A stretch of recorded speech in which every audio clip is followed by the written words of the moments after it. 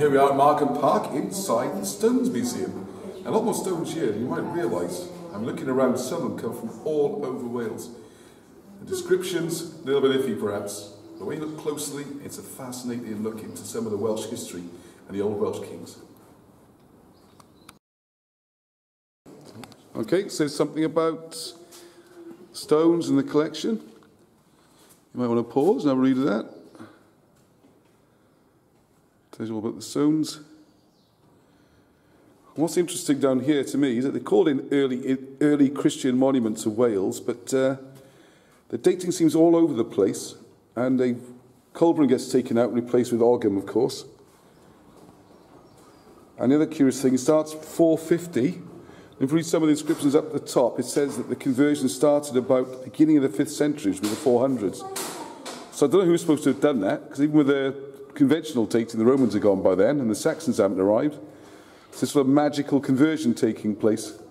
So you have to remember that uh, the Roman Empire had been persecuting Christians, so the idea that it has to come that way is a bit strange when you think about it. Yeah, this is a 1946 picture. So yeah, that's a quick idea, quick walkthrough. It is worth a visit, it's more than I realised. All right. We've got cartwheel crosses, as they called them here. Lots of crosses. You can see definite traces of early Christianity. And when you learn about how they're read and who they signify, it's quite tragic, really, that uh, a lot of these haven't been properly translated. There was an attempt here at one. There we go.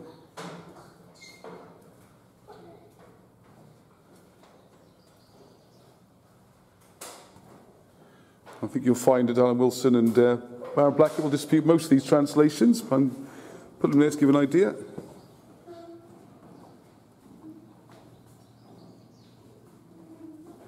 They are beautiful, and it's pleasing to see that they are actually in a, a proper safe environment, and they're well lit, getting good attention. And here's one I really want to have a go at.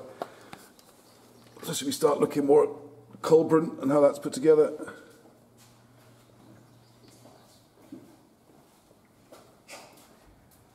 So there's clearly early writing going on here. What else we got? Quick look. Pillar of Thomas. Bits missing and things. Port Talbot. So they come from all over the place. So obviously feel free to pause the video and have a read. And we got the Ogmore, the Ogwr, not far from here. We are, by the way, we are in Maesteg, in case you're trying to find this. Just come off the M4, junction 38, Maesteg.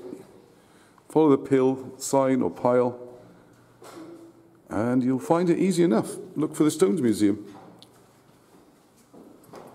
So there you go. A little bit more upstairs, but that's Norman, supposedly. I think it probably is. And much later, there's more stones up there. So there we go. And it's a rather beautiful building. Now we're off, going to take up the mountain and have a walk up to one of You're, you're the cameraman, yeah, you're the cameraman for the mountain. You're feeling fit, are you? Good, good, good, good, good. You can carry me back down again, all right? Yeah, I won't use up all your energy now.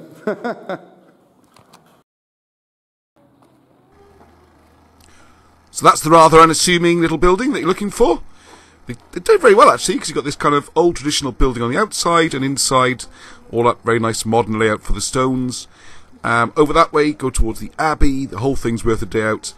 There's uh, a play area at the back. There's like a sort of fun fair type thing. Lots of activities, somewhere to park your family, and generally have a good time. And of course, from our point of view, it's right by Mynydd y Gaer, and we're going to go stomping up the hills around there and finding out what else we can see. So here we go. Make the trip down, and uh, hope to see you there sometime. Oh, supposed to pay apparently. Oh, no one asked us for any money. Where's the pig? It says. Bless you, Caddo.